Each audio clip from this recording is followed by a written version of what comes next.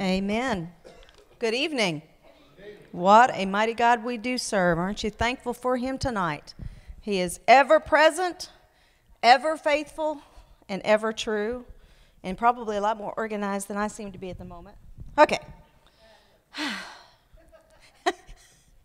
well, Aaron and I seem to be, we're, you know, we're doing this on purpose to keep you on your toes. No, honestly, it's.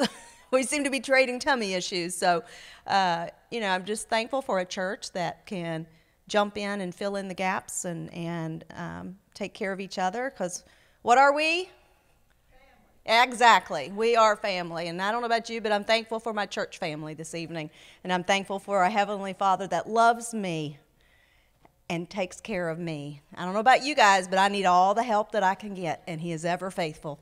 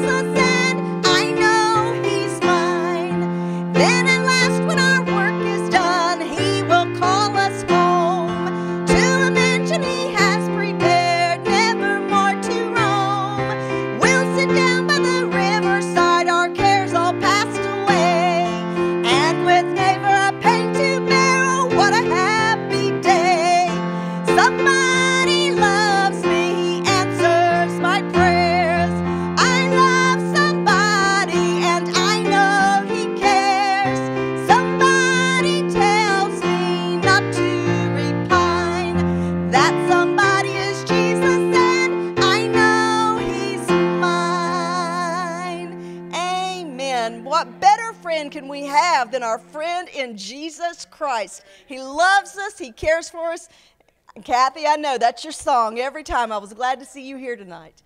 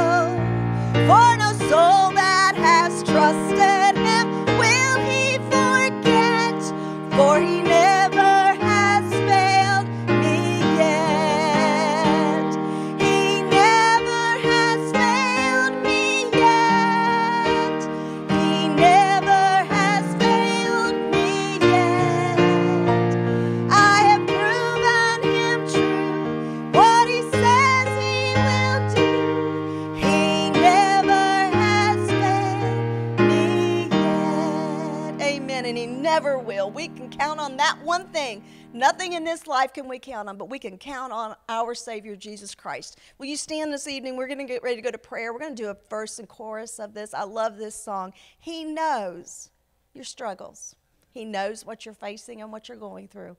And He is there, always lending that helping hand, that guidance, as long as we keep our eyes on the Master.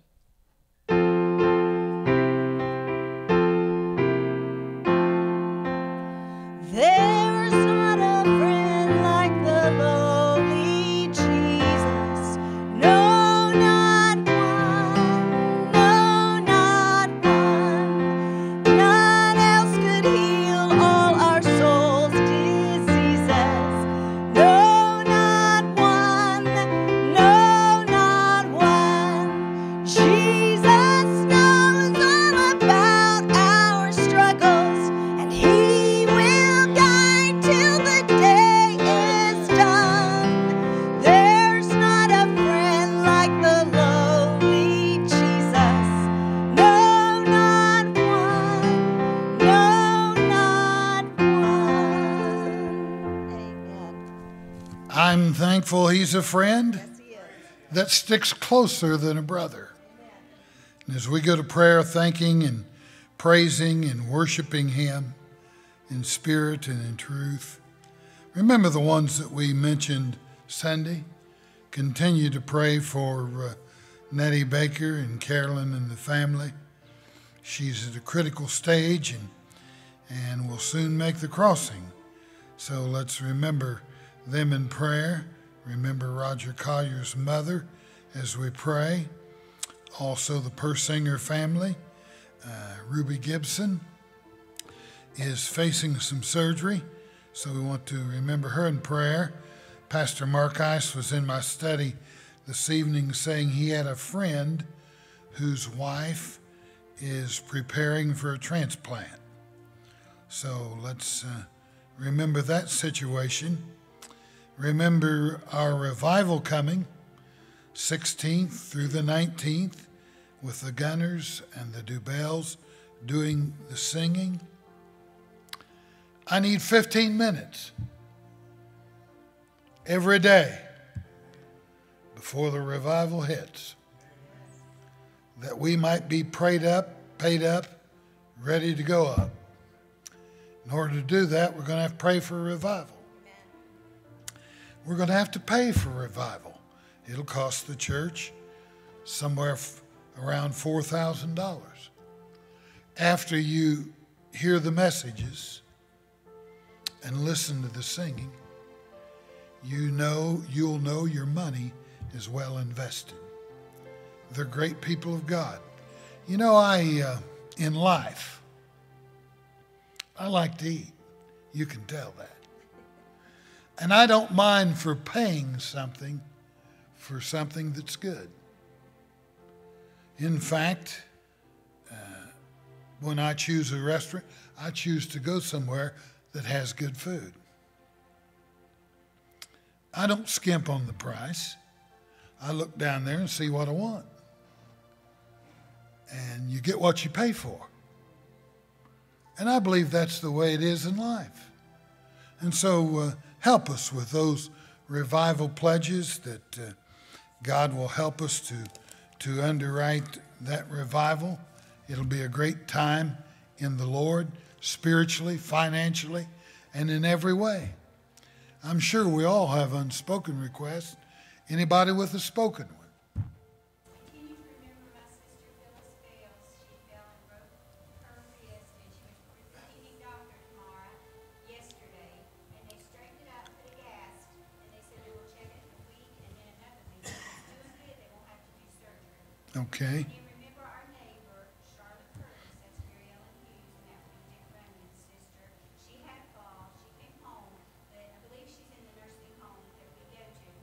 Rehabilitation. All right. Pat Williams supposedly got home today from the hospital, so let's remember him and Judy. Anyone else? Continue to remember uh, Teresa's mother, Ruby. Okay.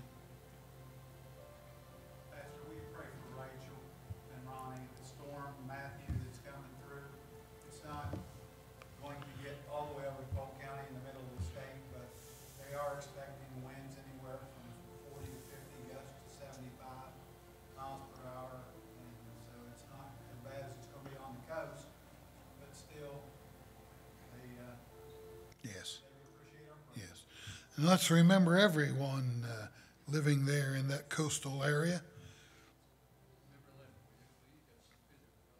Okay. Randall?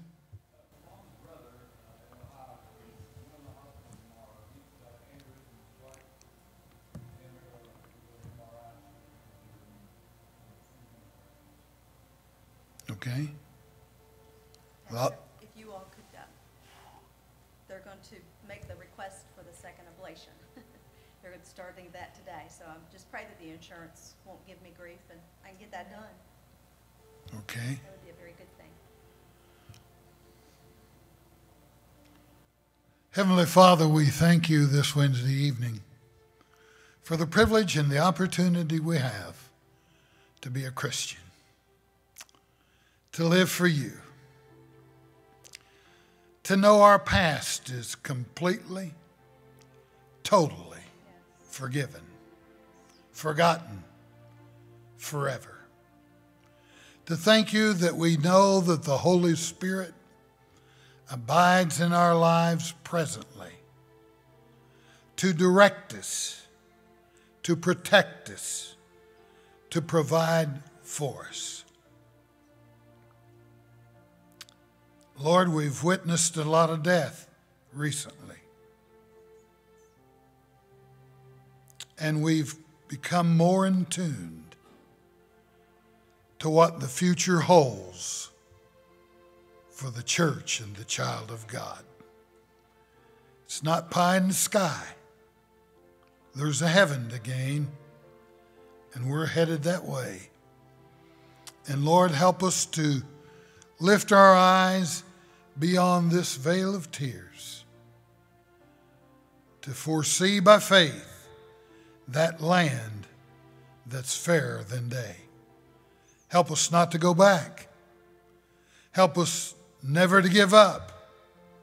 Help us as a Christian and as a church not to stand still, but to go forward in the grace and the knowledge of our Lord Jesus Christ.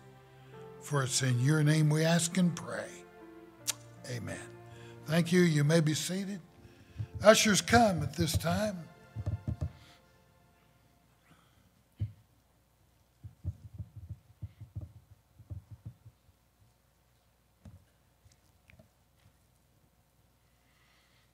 Mother Sam, you want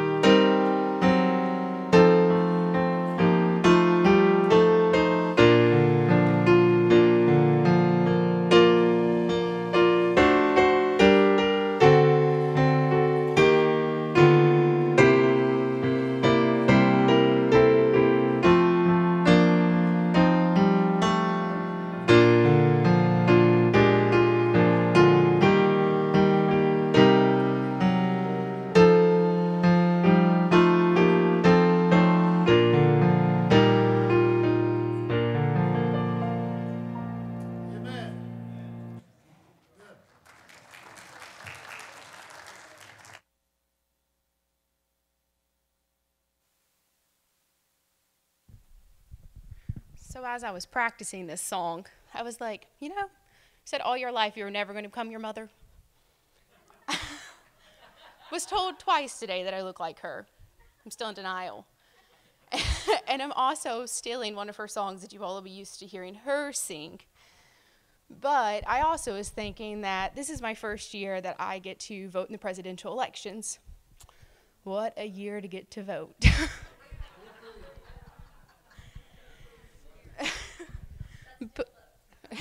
but, Trump claims that we need to build a wall. And we do need to build a wall of prayer.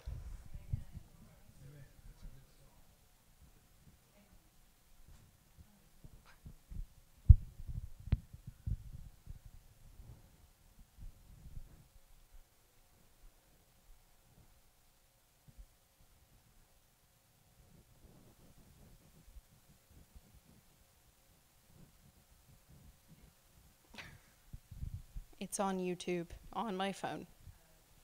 I have full confidence in them, though.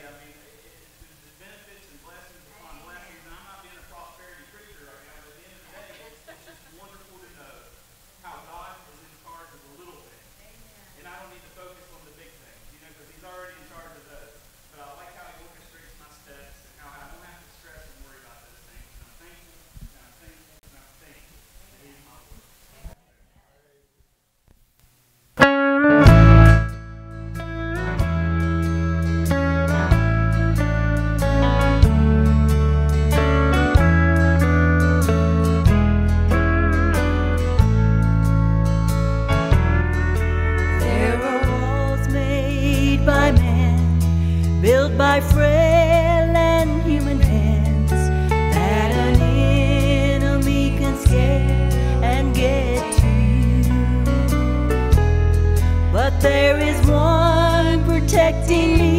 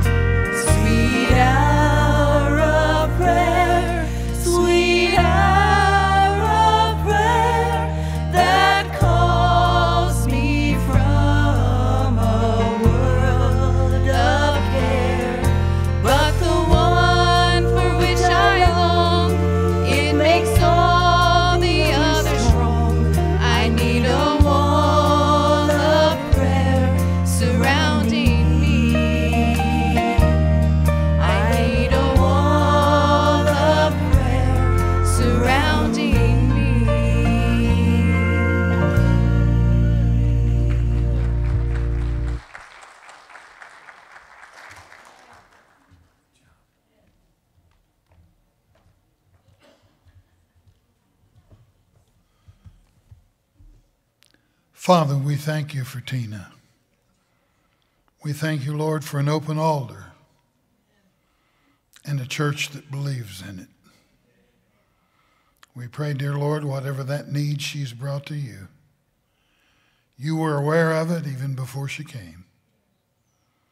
Help her, Lord, tonight to know that you're there and that you care. There have been many times in all of our lives where things pressed in and burdens came that drove us to our knees. There's even been times when we should have brought them to you that we left church without going and seeking your counsel and guidance.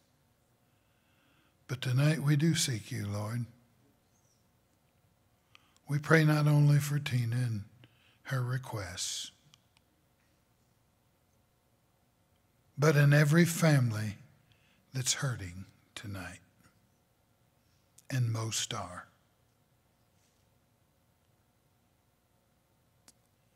You're the healer. You're in the house. There's people worried about their health and their physical conditions this evening. Would you go to them right there in that pew and let them know that you're glad that they came to prayer meeting tonight? And you're going to do for them physically what no one else can do. And then there's parents here tonight that have shed many tears, prayed many prayers for their children. they're still concerned about them as they should be. Help those parents to know that their teaching and their example will not return void, but it will accomplish in the lives of their children that which thou set out to do. The wounds, the hurts, the needs that are presented in our lives tonight, may we close the world out and allow the Holy Spirit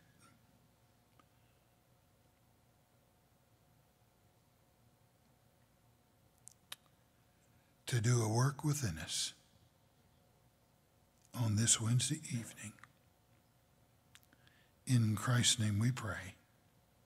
Amen. If you have your Bibles tonight, the Lord, uh, we were coming back from uh, Kentucky this afternoon, and uh, TJ decided he wanted to stay with, or Logan decided he wanted to stay with us. He didn't want to go to Smoky Mountains, but his dad kept calling him and he changed his mind and decided he wanted to go. And I said, Well, it's all right, T. We'll, uh, we'll meet you halfway and, and we'll drop him off. And we did. But on the way back, uh, Brenda said, uh,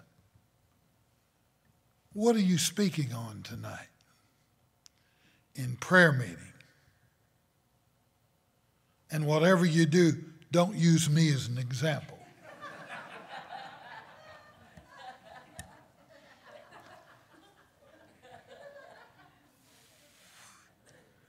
I said, I'm speaking on a subject that is desperately needed in the church today. And I said, honey, I've never spoke on it before. Out of some 2,000 sermons that I have made over my pastoral ministry, I've never made one on this. I said, it's brand new. But I said, I believe you'll like it because the Lord gave it to me. I didn't come up with it on my own. And it's found in the book of Ephesians, the fourth chapter, verses 29 through 32. And as you're turning to that passage of Scripture, Ephesians chapter 4, verses 29 through 32, we're going to read and study tonight the code of Christian conduct. The code for Christian conduct. Many and most of the problems and conflicts that arise in our Christian lives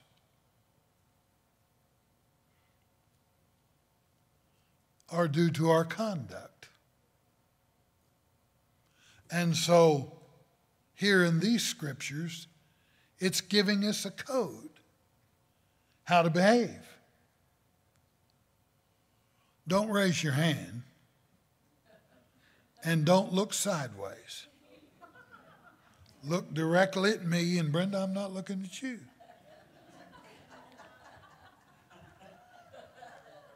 Have you ever misbehaved?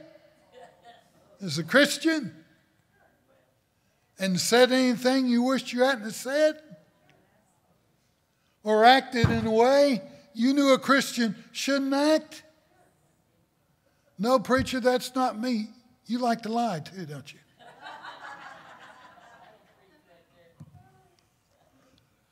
But here in these scriptures, stand with me for just a moment, lies a code for Christian conduct.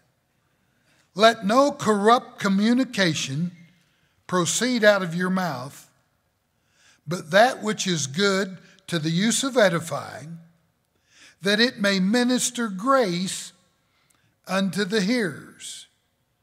And grieve not the Holy Spirit of God, whereby ye are sealed unto the day of redemption.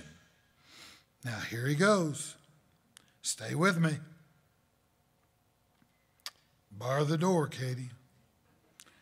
Let all bitterness and wrath and anger and clamor and evil speaking be put away from you with all malice. And be ye kind one to another, tender hearted, forgiving one another, even as God, for Christ's sake, hath forgiven you.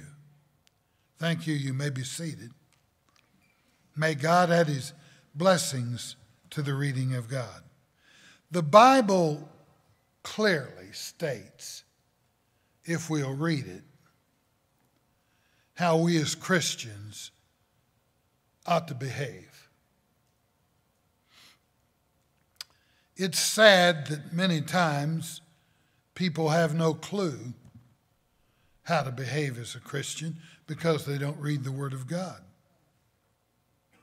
But it lays out the need for Christian conduct. And it gives us a code in which to live by. You see, it's necessary that we learn how to behave and act as Christians. In the Old Testament, God gave us Solomon. He was the wisest man of his day. And if you don't take time to study the book of Psalms and Proverbs, you're the poorer for it. Because he gets down to everyday living. There's times when he's higher than a kite. And there was, there's times when he's the lowest of lows. And he spells it out and tells us of his conduct. He goes through the emotional and the mental troubles and trials and tribulations that causes his conduct to vary. When we jump over into the New Testament, Jesus and the Apostle Paul both write and reveal how the church and the Christian should act and behave. And they leave no room for misunderstanding. And so Paul writes about it here, and I'm glad that he did. Because he gives us a code by which to live by. If you've ever had a code for a piece of machinery or for your phone, I don't put any codes in my phone, but Brenda does. But I'm forgetful. She'll be driving, she does all the driving now and it'll ring and she'll say, Answer that phone. I'll say, Mom, what's that code? I put it in, it don't work. I give it back to her and said, You answer it. They're calling you, not me. But if you don't have the right code, amen, you don't have access or an avenue to what you need. And I want us to look at the right code for Christian conduct. The first one is communication. Let no corrupt or evil communication proceed out of your mouth. I don't know how Christians get by with telling dirty and filthy stories and then rearing back and laughing about it. It's no funny matter. Christians shouldn't be doing that.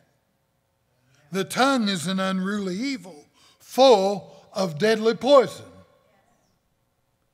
Jesus said about our Christian communications it's not what goes in to a person's mouth that defiles them, but it's what comes out. Because what comes out of a person's mouth comes from the heart and from the head. And we need to guard against both of them. Let the meditation of my heart and the words of my mouth be acceptable unto thee, O God, my Redeemer and my salvation. Let's make sure that our communication is good to the use of edifying. And if we get confused on, then let our communication be yea, yea, or nay, nay, and nothing more. Evil communications corrupt good manners. Here's why our communication is so important. You have, and so do I, every Christian in this church has a witness and has an influence. And if our talk does not match our walk, it won't take long to lose our witness and our influence.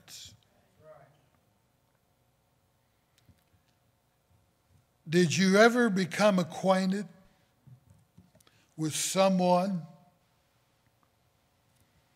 who talked the faith, they just didn't live it? Well, whoever you're picturing in your mind right now, let me ask you how much confidence do you have in them? When your family's in trouble, do you go to them to pray for you? Or do you seek out someone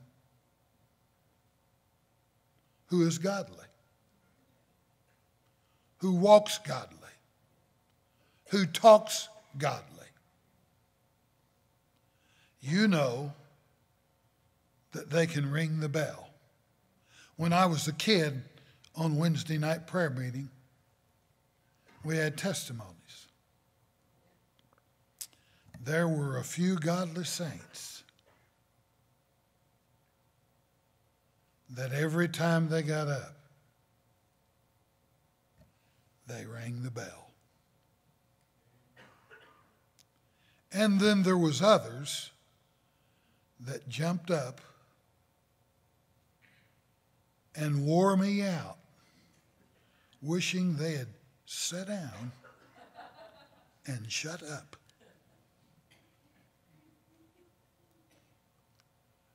What do you mean by that, preacher? I mean, I knew their life. I knew what they were saying was not matching the way that they were living. Let this mind be in you, which is in Christ Jesus. Paul tells us over and over again we are to have the mind of Christ. I've seen two kinds of people witnessing to the lost. One that knew the talk but didn't do the walk. And I watched them. They tried their best, but they had no influence at all on the person they were talking to. Because that person had watched how they lived.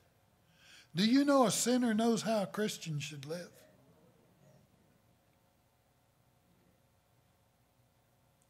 And they can tell you real quick. Some of the most ungodliest men that I worked with at the paper mill knew how a Christian should live. And they often revealed to me, I don't have any confidence in them. But, preacher, would you pray for my brother or my sister? I've watched you, and I want you to know I've got confidence in you. Many of our conflicts and our problems are either due to worldly communications or a lack of understanding and communicating. And so, as Christians, we need to make sure that we communicate clearly to those we love who Jesus is, why we love him, and what he can do for them. Communication. There's a big problem there uh, in the church world today. And Paul writes about it. And then he goes on to tell us that our communications have consequences. Me and Brenda have talked about this time and time again, uh, telling our boys, boys, be careful Study about the choices you make before you make them because they have consequences. And so when I look at the consequences, we often find ourselves in direct opposition to what we want to be. The consequences of that bad attitude, the consequences of that sharp tongue bring hurt, bring wounds. In fact, Paul said, We reap what we sow. And if we sow to the wind, we're going to reap a whirlwind. Our communication, or the lack thereof, will sometimes present to us unsurmountable consequences. I like the book of James. How many many's ever read James? Do you think like I do? He was bold in his statements. As you read the book of James, do you have to guess what he's thinking? Brenda told me one day one thing about your sermons, your three point sermons, they don't have to guess what you're thinking. I said, Well, that's good. I don't want them to have to guess. What do you mean, preacher? The consequences out of the same mouth come sweetness and bitter. James said, Brethren, these things ought not to be so. We had a little problem with that in one of the churches I pastored. Not this one. And if you've been in any of my others, not the one you're thinking of. But I decided one week while I was praying to visit the children's classes in Sunday school. And I went in unannounced and I asked the teacher, I said, Can you give me about 10 minutes before the end of your class to ask your kids some questions about their mom and dad?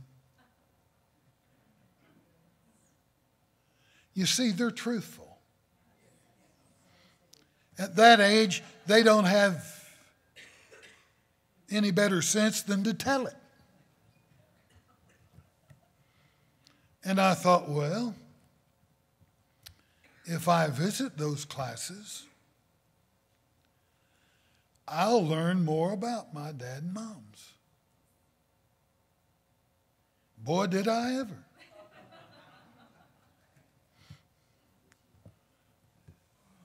And one of the little boys who belonged to my associate spoke up and said, Well, Pastor, my daddy drinks beer when he gets home from church. I said, He does. Oh, yeah, he's got a big jug. Sets out on the back porch tips it up. And then we went on to different others. And uh, after it was over, my associate came up to me and I said, uh,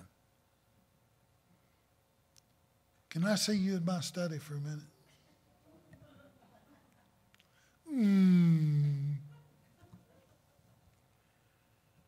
I said, uh, I just happened to be in your little boy's Sunday school class this morning. And I learned something about you I didn't know. Oh, heavens. What did he tell you about me? I said, That's why you're here. He told me you drink beer after the Sunday services. He said, I do. I stop at the root beer stand and get a gallon jug of that root beer. It's the best stuff I ever drank. And he said, I'll get that home and tip that jug up. And I said, uh, You're absolved.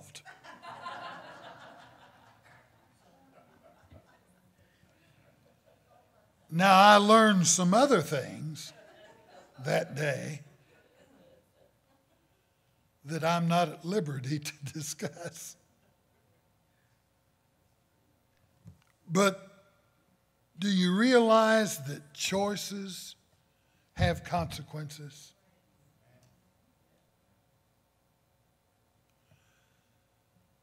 My brother told me one day,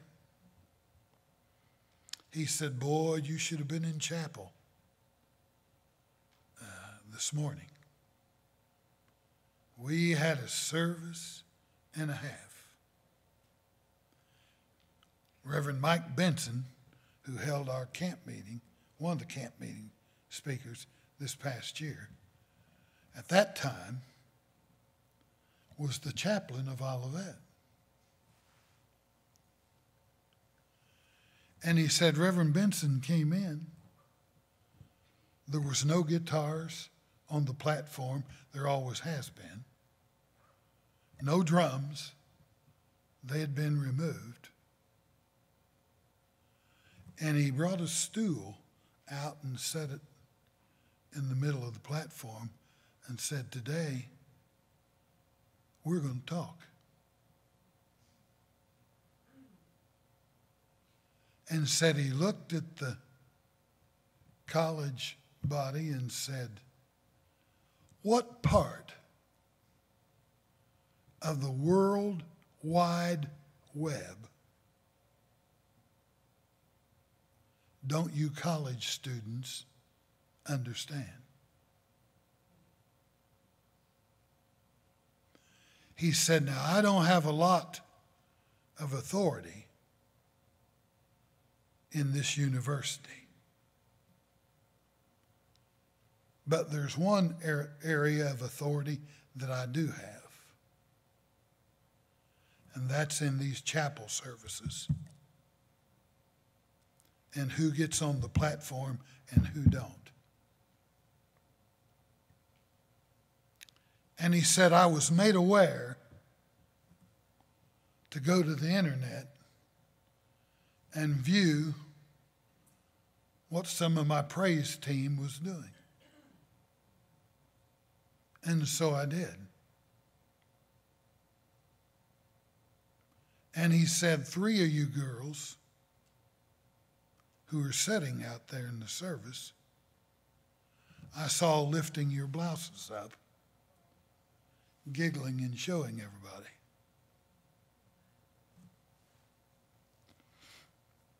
He said, From now on, none of you kids get on this platform until you start living the life that you profess. Aren't you glad we've got Christian professors like that? Amen. In a Christian college that will help our kids when they go astray. Preacher, do you do you think Christian kids do are you kidding? Are you kidding? There's consequences to our choices. Out of the same mouth proceeds sweet and bitter. The Lord touched Isaiah's mouth and said, Thine iniquity has been taken away, and your sin has been purged. And I've got to wind this down. But number three, Christ likeness. Grieve not the Holy Spirit. Let all bitterness, there's no place for bitterness in the life of the Christian. Well, preacher, you don't know what they do, and I don't care. There's no place for bitterness in the life of the child of God. Let all wrath, getting even, let all anger. Hmm, we got to quit. But boy, could I talk about anger and people getting mad. I've seen them get mad in board meetings. I've seen them get mad in Sunday school. I've seen them get mad at me in church. If looks could have killed, I'd have been dead a long time ago. Let all clamor and evil speaking and all malice be put out of the heart and the head of the Christian. And then he closes be kind. Be tender hearted. Be forgiving. You don't have to be in the church very long till someone will talk bad about you. They'll do something, whether they mean to or not, that will offend you and hurt your feelings. Now, you can carry that grudge, you can hold it against them, you can blame the church or the pastor or the Sunday school teacher, or you can get over it.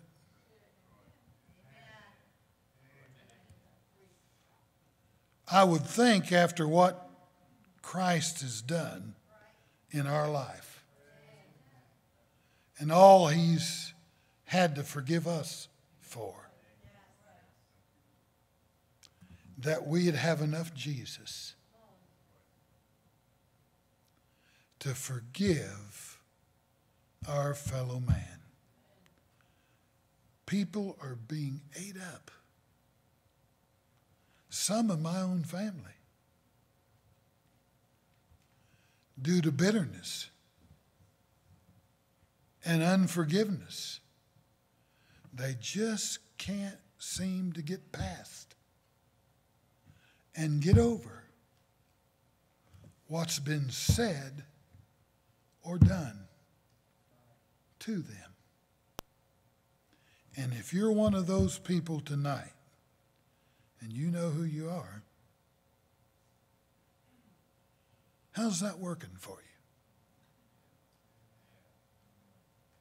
How's that hatred and ill will and bitter feelings and malice and negativity?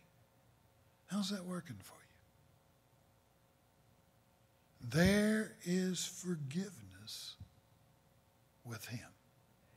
Heavenly Father, help us to be the kind of Christian and have the kind of conduct and behavior that would seem pleasing in your sight. Help us to grow in the grace and the knowledge of our Lord Jesus Christ. For it's in your name we pray. Amen. Choir practice.